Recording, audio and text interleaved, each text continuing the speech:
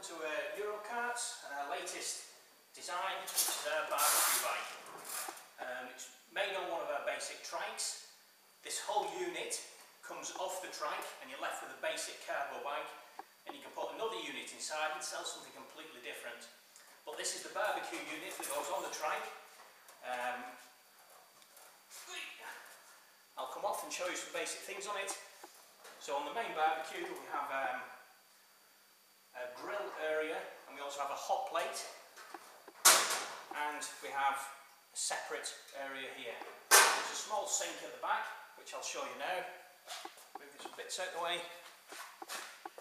Let's bring the camera over, that's better.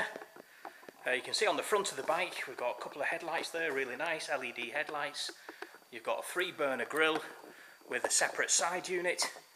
If we go towards the back of the trike we have a small uh, stainless steel sink and a nice little mirror which is pretty cool.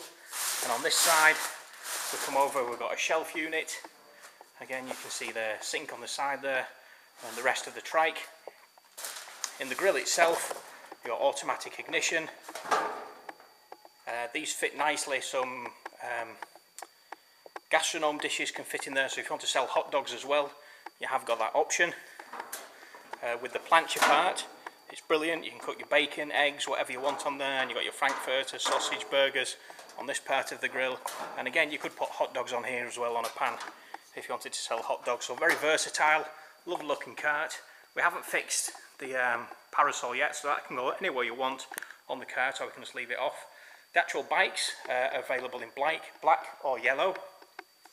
Here's one that's part built in yellow, which is going to be a, a sole purpose sort of hot dog cart that's on there with um, one burner will be at the front, a couple of shelves, sink at the back. So that's the basic hot dogs, but just as hot dogs.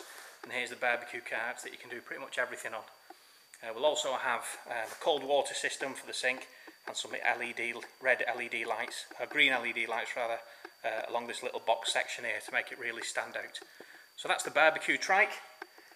Give us a shout if you want to know any more. Again, it's available in black or yellow, the trike, and this whole unit comes out. So you just lift the barbecue off and it goes to one side.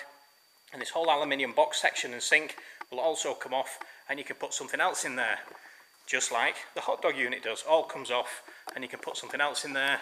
There's a little box for the kids. You can actually stick that in the